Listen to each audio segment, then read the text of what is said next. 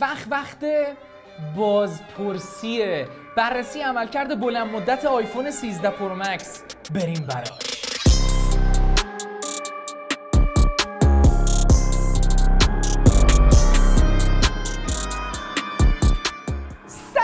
وکس دوست داشتنی. من مهدی شجری هم خیلی خوش اومدید به ویدیو دیگه. قبل از هر چیزی همین الان ویدیو رو لایک کنید لطف بزرگیه در حق من و یه کامنت حمایتی هم بذارید. دمتون گرمه. بریم سراغ بررسی عملکرد بلند مدت آیفون 13 Pro Max. آیفونی که کل این 6 7 ماه رو دست خودم بوده و می‌خوام بهتون بگم که چه بر من گذشت. اول از همه بریم سراغ بخش طراحی. قبلش بهتون بگم که متاسفانه آیفون یه کالای سرمایه گذاری شده توی کشور ما و موقعی که من خریدم 5 میلیون تومن بود نسخه 512 مشکیش. الان شده 62 میلیون تومن. و عجیبه. من 6 ماه هم ازش استفاده کردم الان می‌تونم گرونترم بفروشم.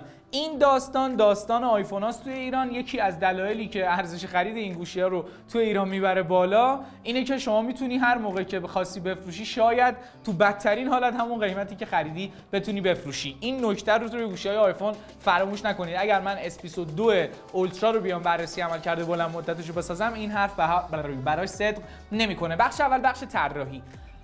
بهترین شکیل ترین خفن ترین متریالی که می‌تونه داشته باشه رو داره. واقعا انقدر ظریف و خوبه این طراحی. انقدر جذابه آدم لذت می‌بره. از نظر متریال و کیفیت ساخت فوق العاده است. از نظر مقاومت فوق العاده است چهار بار از دست من خورده زمین و می‌تونم بگم که هیچ اتفاقی براش نیفتاده. البته که شانس هم آوردم ولی مقاومت خوب متریال خوب کیفیت خوب معرکه ولی وزنش زیاده. این تیز بودنش باعث میشه که توی بلند مدت که می‌گیرید رو دستتون انگشتتون سولاخ شه این انگوش کوچیکه اگه زیر گوشی بذارین اینجوری بگیرین.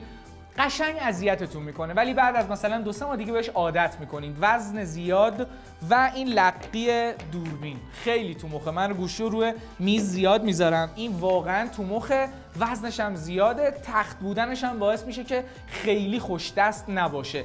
ولی واقعا از نظر طراحی و کیفیت ساخت واقعا جذابه. حتی این شیپ تختش هم وقتی بدون قاب این گوشی رو نگاه می‌کنی این کم بودن از بغل و پایین نمایشگر واقعا اجاب انگیز خفنه. خب قبل از اینکه بریم سراغ ادامه این ویدیو می‌خوام از اسپانسر این ویدیو تشکر بکنم. فارس بازار یه فروشگاه اینترنتیه که می‌تونید لوازم جانبی مختلف و کامپیوتر و موبایل و لپتاپ و همه چیز و قطعاتشون رو بگیرین فارس بازار نمایندگی انحصاری Anker و Baseus رو داره و کلی برند لوازم جانبی دیگه که می‌تونید با گارانتی معتبر با خدمات پس از فروش خیلی خوب با قیمت مناسب ازشون خرید بکنید. حتما یه سری به پیج و سایت فارس بازار بزنید. بریم سراغ بخش بعدی بخش صفحه نمایش. بهترین نمایشگر اگر نگیم واقعا جز سه تا نمایشگر برتر توی گوشی های 2022 بوده. 2022 آخر 2021 و اول های 2022 فوق العاده نمایشگر با کیفیت و ریسپانسیوی داره. سرعت خیلی خوب که 120 هرتزی هم شده واقعا به چشم میاد. خیلی روون رنگ ها دیگه نمی‌دونم عمق رنگ مشکی. واقعا کیفیت نمایشگر عالی روشنایی خوبه و سرعت معرکه است و قطعا یکی از بهترین نمایشگرهای توی پرچمداراست. بدون شک دو تا ایراد داره. یک سه تا ایراد. این ناچه تو مخه. این ناچه واقعا تو مخه که ایراد شاید تو طراحی باشه شاید هم توی صفحه نمایش.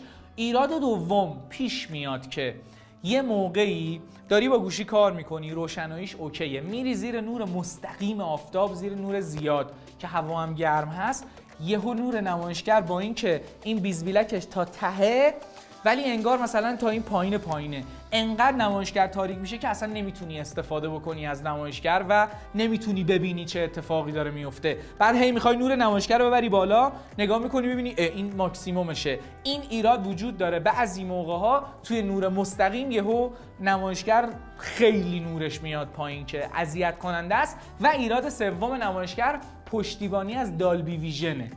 چرا؟ قطعا این ایراد نیست برتریه. ولی مثلا یه ویدیو گرفتی HDR با دوربین خود گوشی یا یه ویدیویی که HDR هست رو داری تو اینستاگرام می‌بینی یا مثلا داری توی جای دیگه می‌بینی بالا و پایین ویدیو بذار مثلا یه ویدیویی که اخیرا از خودم گرفتم که HDR باشه دالبی ویژن باشه بالای خود نور ویدیو خوبه ولی بالا و پایینش که سفیده یهو تاریک میشه انگار یه حاله سیاهی روش گرفته. ایراد اساسی نیست ولی اذیت کننده است. تو مخ منه. اخیرا توی اینستاگرام مثل اینکه این قابلیت اضافه شده که دالبی ویژن پشتیبانی می‌کنه و تو میری و داری تو اینستاگرام میچرخی و بالا پایین صفحه نمایشت که سفیده یه حاله مشکی افتاده که اذیت کننده است. اینم از صفحه نمایشش. به جز این ستا ایراد ایراد دیگه ای نداره. واقعا جزو بهتریناست. بریم سراغ باتری. به جرأت.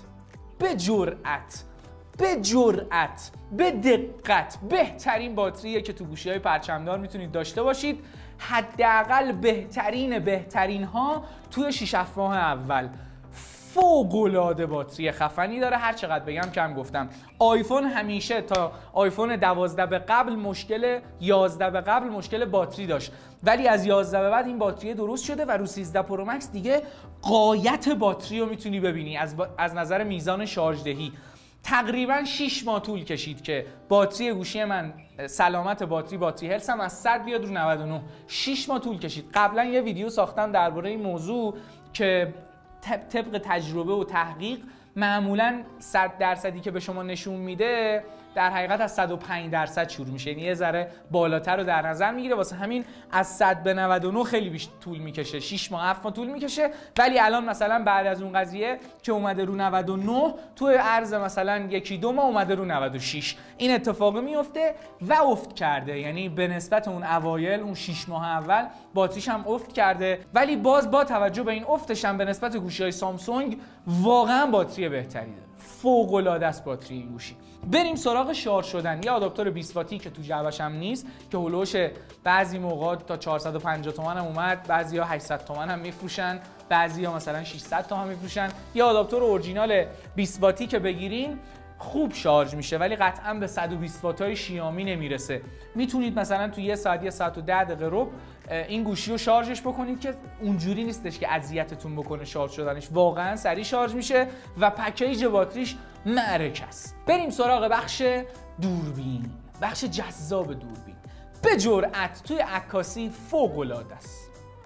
ولی مقایسه کردم با پیکسل پیکسل 6 بود؟ پیکسل 6 بود آخرین پیکسل 6 پرو. مقایسه کردم با S22 هم مقایسهش کردم می‌تونید برید ببینید. جنس عکسایی که می‌گیره متفاوته. توی لیگ دیگه است با گوشی های اندرویدی که مقایسه کردیم. ولی عکسای خیلی خوبی می‌تونید باش ثبت بکنید واقعا.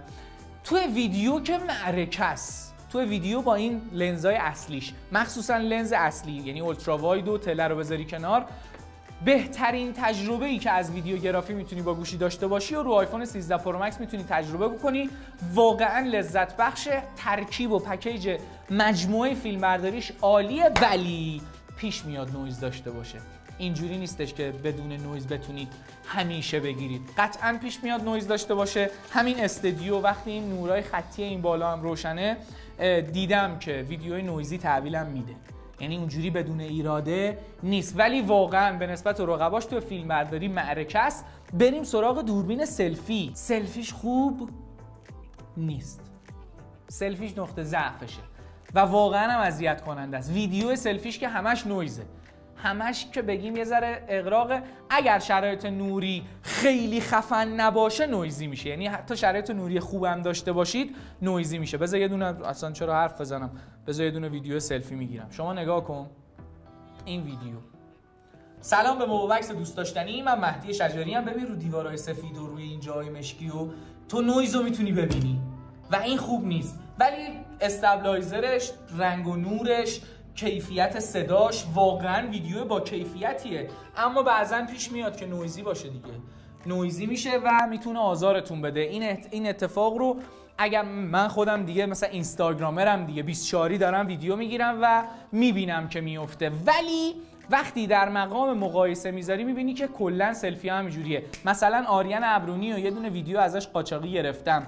کلا با دوربین پشتش ویدیو می‌گیره. S22 اولترا گوشی اولش و موقعی که می‌خواد استوری بگیره اینجوری برعکس می‌گیره. با دوربین پشتش می‌گیره چون سلفی اونم نویزی میشه. کلا توی range سلفی ها اگر نخوای مقایسه بکنی باید بدونی که نویز داره و می‌تونه بعضی جا اذیتت بکنه. ولی وقتی تو مقام مقایسه قرار میدی به نسبت رقباش چیزی کم نداره چون بقیه هم تقریبا بدون نقص نیست دوربینای سلفیشون. بریم سراغ بخش سخت افزار پرونده جمعه.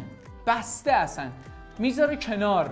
یعنی رو همه رد میشه. A15 بایونیک فوق الخفن. همه بازی ها رو با بهترین کیفیت ها بدون لگ و باگ می‌تونید انجام بدید. معرکس از نظر سخت افزاری توی کار کشیدن های سنگین. فوق العاده است. داغ می‌کنه در حد طبیعی. ولی قطعا بهترین سخت افزار هم هست. طبق تجربه من با گوشی های مختلف پرچمداری که داشتم.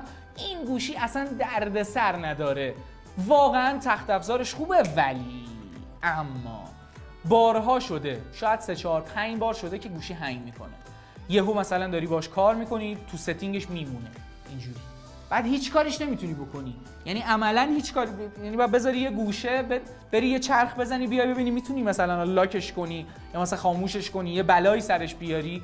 واقعا دو سه بار اینجوری شدم ولی چهار پنج بارم شده که هنگ کرده. مثلا داشتم اپ دوربین رو میبستم اپ دوربین تا نصفه داشته بسته می‌شده همونجا وایساده.